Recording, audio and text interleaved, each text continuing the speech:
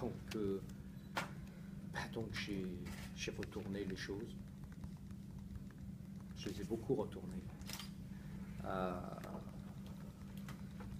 et parce que, encore une fois, il y a une équipe en ordre de marche.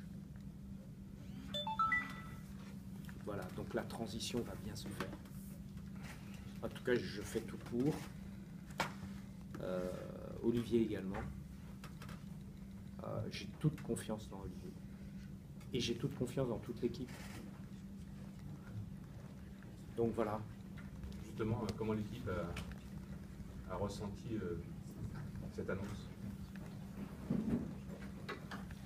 Ah, je suis pas forcément le mieux placé pour le dire, mais euh, évidemment, euh, évidemment, avec